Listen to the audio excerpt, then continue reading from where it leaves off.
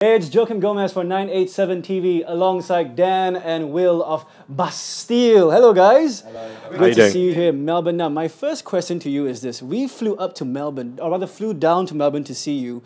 When will we see you in Singapore? Anytime soon? Well, hopefully, we're hoping at the beginning of next year, mm-hmm. but we're we're kind of in the in the process of finalising some plans. But yeah, very we, you know we, we'd absolutely love to go to, to go to Singapore and hopefully next year. Do you have anything to say about that, Will? I agree with Dan that in the beginning of next year, hopefully we will come to Singapore. We really, really hope so.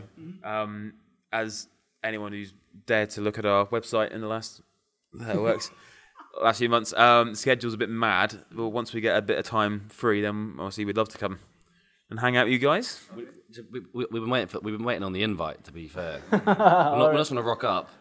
Well, uh, we are personally inviting you to Singapore, so come on down. Look for us if you're there, okay? Right, we'll sort it out then. All right, and um, you know, we were speaking to Dan and Will earlier, and we actually hear that Woody is a bit of a football pundit.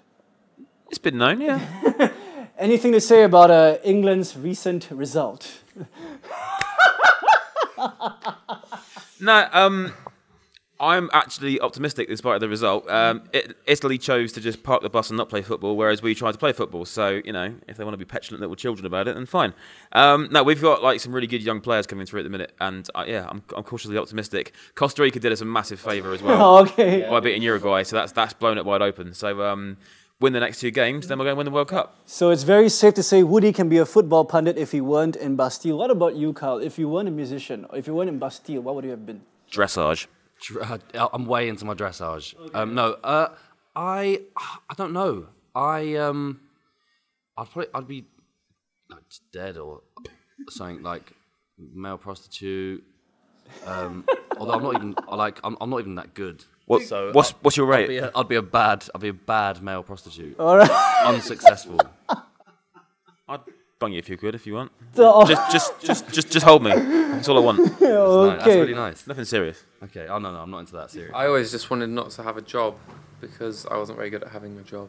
I kept getting fired and stuff. I was asleep once, and my boss came in, and I think that he should have given me a written warning, but he fired me on the spot. Oh no. Um. So had this not worked out, I didn't have many options in life. I mean, I could have. I also got caught sleeping at work.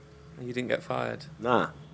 I, I was I was working in I was I, I, w- I found the stationery room, and and there was a massive thing of bubble wrap. Okay. So I rolled out the bubble wrap, used the, the what was left of the coil coil, whatever the roll as as a pillow, and then used that as a mattress. Ha- Such a good sleep. So I went straight for the on the. Ca- I was working. I was the only person in charge of a shop full of my boss's merchandise, and I was um, yeah, just asleep on the counter. Okay. I was a bit annoyed. He On woke the counter. That's Yeah. brazen. That's like No, yeah, he walked in and sort of walked round, took some stuff, walked out again, came back in, woke me up, told me he would, could have just stolen some stuff. I mean, I thought it was rude just to wake me up like that. And Bastille giving me ideas to fall asleep at work as well.